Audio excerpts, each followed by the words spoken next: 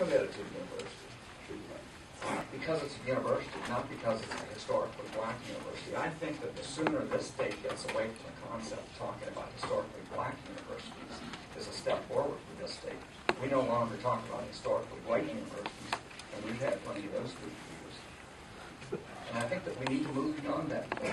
I think we need to move to deal with the issues, of funding needs of South Carolina State because it's an institution of higher learning in this state. It's servicing a student body that doesn't have the ability to bail the university out. These aren't kids that are coming from wealthy parents, from wealthy niches in the community. These are kids that are going there because they can't get into these other schools. And we're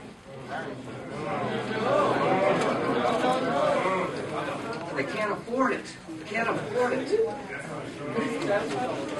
Well, okay. Okay, so the, what we're saying is the university can bail itself out. Well, Right now, I, I, I'm going to report out, I'll be in charge here, or a senior member, or a junior member now. Are you, are you, anything else you'd like to say before we go back to Senator? no, I stand correct. Thank you, thank you, Senator. You know, General Eckstrom is a, is, a, is a great supporter of the university, and I think he just simply, the way he characterized it was just, you know, misunderstood. What he was intending to say, and I think he was saying, is that we have a large number of students who attend our university who are need students, and students who have great needs. A higher proportion of our students receive and, and require need-based financial aid than any other school. And we welcome those students to our school. We have always welcomed those students to our school, and we provide a nurturing environment for those, those students to attend our school.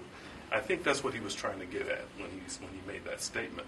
Uh, it is not realistic to expect that those students who have been affected by the change in federal regulations, which makes makes it harder for them to get a loan, it's not realistic to expect those students who have found themselves, you know, in a difficult situation because there's not enough need-based scholarships coming from the federal government or the state government to expect that we can go back out now and force them to pay money that they owe us. We do that. We do attempt to collect our bills. We go about it in a business-like manner, but it does not. It's not realistic to expect that we're going to go out and force those individuals who are having a challenge in meeting their regular day-to-day, you know, bills to suddenly come up with money that they then, that we would then turn around and support the university.